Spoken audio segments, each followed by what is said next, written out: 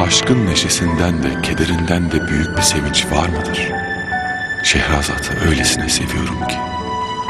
Dar gömleği o güzelin bedenini biraz sıksa gömleğini bile kıskanırım.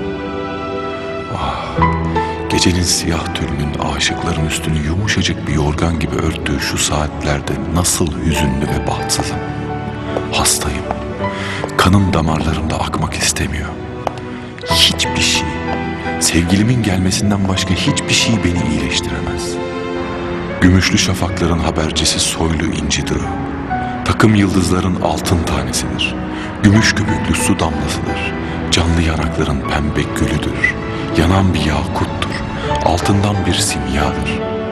Gözleri gece menekşeleri rengindedir. Siyah sürmeyle çevrilidir o güzelim gözleri.